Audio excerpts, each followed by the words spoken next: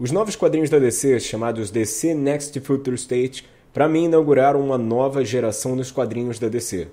Isso porque a editora mais tradicional dos quadrinhos acaba de mudar totalmente a sua estrutura e dá espaço para novos heróis tomarem o local dos heróis antigos. Eu sei que isso de novos heróis pegando o manto dos heróis antigos não é algo muito original nos quadrinhos. A Marvel já tinha feito isso há muito tempo atrás, e até dando algumas repaginadas nos heróis, como por exemplo em Heroes Reborn e agora em Marvel Now, em que tivemos a introdução de uma nova Homem de Ferro, que depois conhecemos como Riri Williams Iron Heart. Mas para DC Comics, isso é um marco incrível. Mostra que a editora mais tradicional dos quadrinhos está disposta a abrir, pelo menos por enquanto, mão de algum de seus personagens clássicos para introduzir novas versões de outros personagens. E eu achei esse um ponto incrível, e é por isso que eu quis trazer esse vídeo para você, falando sobre como a revista DC Next Generation é importante para o futuro da DC Comics como quadrinho e para o futuro da indústria dos quadrinhos num modo geral. Então, se você não é inscrito no canal, vou pedir para você se inscrever. A gente tem vídeo novo todo dia, sempre comentando alguma novidade desse nosso mundo nerd. E hoje não podia nem um pouco ser diferente, já que a gente precisava falar sobre como esse quadrinho está marcando época e marcando espaço no nosso coração de leitor. No dia 5 de janeiro de 2021, marca a chegada às bancas de um novo projeto da DC Comics, intitulado DC Next Generation, em que fomos introduzidos a novos conceitos em personagens clássicos. E isso inclui o Flash Wally West do Mal, uma Mulher Maravilha da Amazônia e um novo Batman, Tim Fox, um dos filhos de Lucius Fox. Essas histórias acabam sendo muito importantes no contexto geral da DC, pelo simples fato que a DC desde sempre foi muito tradicional na forma como trabalhar os seus heróis. Diferente, por exemplo, de outras editoras, como a Marvel, a Marvel Comics desde sempre quis aproveitar os seus heróis no máximo de mídias possíveis da melhor forma possível. Por conta disso, no universo do Teioso, agora temos dois Homem-Aranhas que vivem em Nova York, Peter Parker e Miles Morales. E os dois conseguem conviver igualmente na cidade, tendo as suas mesmas aventuras, tendo seu universo reintegrado e unido para o universo 616 após a série Ultimate End. Mas falando de outro ponto, a DC Comics nunca aceitou usar os seus personagens de uma forma diferente da que eles queriam. Por conta disso, um dos maiores escritores de todos os tempos, Alan Moore, quando decidiu criar a sua história, Watchmen, utilizando os personagens da nova indústria comprada da DC Comics, a Charlton Comics, uma pequena editora de quadrinhos com heróis de um relativo sucesso, como por exemplo o Besouro Azul e o Questão, quando esses heróis foram finalmente integrados ao universo da DC Comics, Alan Moore tentou escrever o Watchmen utilizando eles. Mas a DC sempre foi uma indústria muito tradicionalista e falou para o Alan Moore que se ele queria criar aquela história, ao invés de utilizar personagens já existentes, ele deveria criar novos personagens.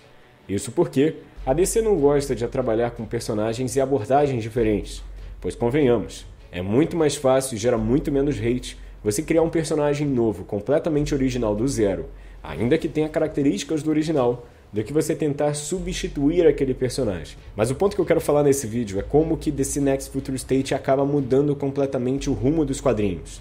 Pela primeira vez, a DC Comics olha para os seus quadrinhos e finalmente fala o que o Alan Moore já diz há anos.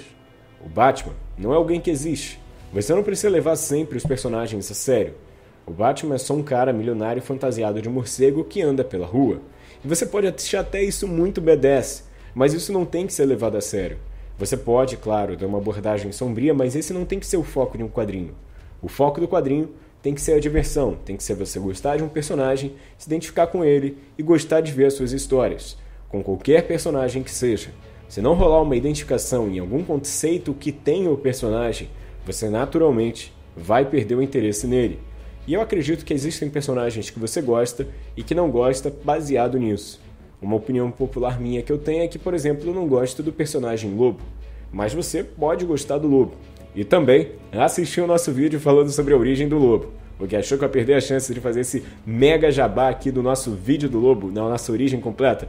Eu fiz e é bom você assistir, que você vai conhecer muitas coisas novas que você não sabia sobre o lobo. E para você que está criticando de alguma forma que isso pode ser alguma forma de política sendo utilizada nos quadrinhos, saiba que não, porque isso é uma prática comum dos quadrinhos.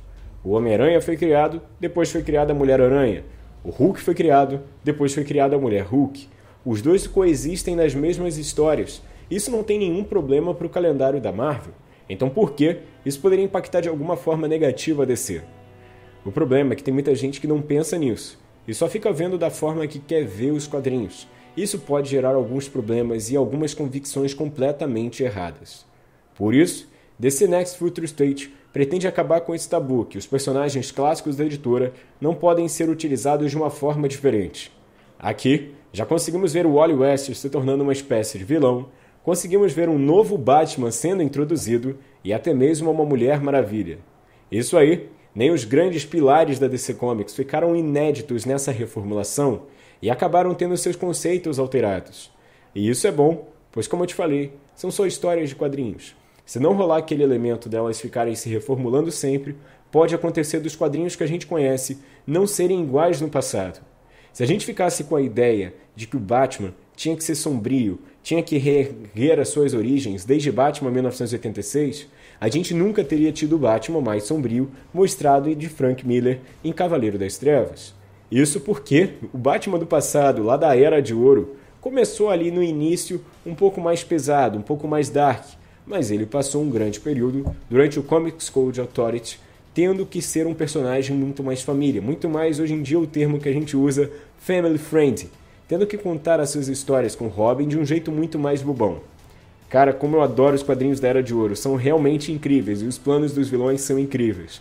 Um dos planos de vilões que eu mais gosto é o do Bolinha, que é completamente ridículo, ou do Charada, que é literalmente só perturbar a vida do Batman. Acho incrível as histórias da Era de Ouro. E esse é o ponto que eu quero falar nesse vídeo.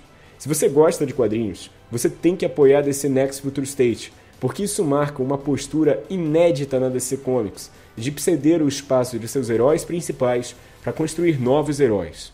Quem sabe no futuro a gente não possa ver a Yara Flor ao lado da Diana Prince, a nossa Mulher Maravilha, lutando juntos para conseguir lutar contra as maiores ameaças existentes.